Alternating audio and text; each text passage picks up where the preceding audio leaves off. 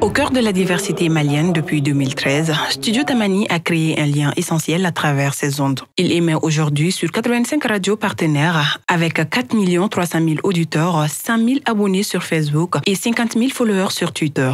Ce réseau de diffusion d'informations qui fête ses 10 ans au Mali ce samedi délivre chaque jour des nouvelles en cinq langues différentes pour informer, éduquer et rassembler les Maliens.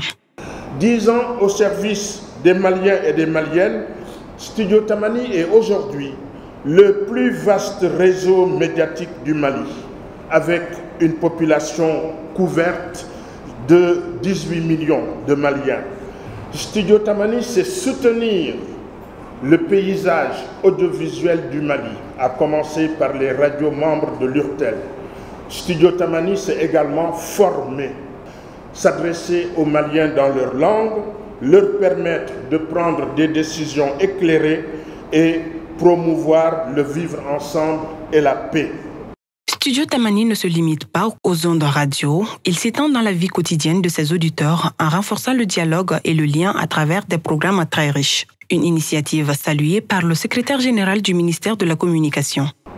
Studio Tamani, c'est aussi un slogan s'informer pour comprendre, dialoguer pour s'entendre.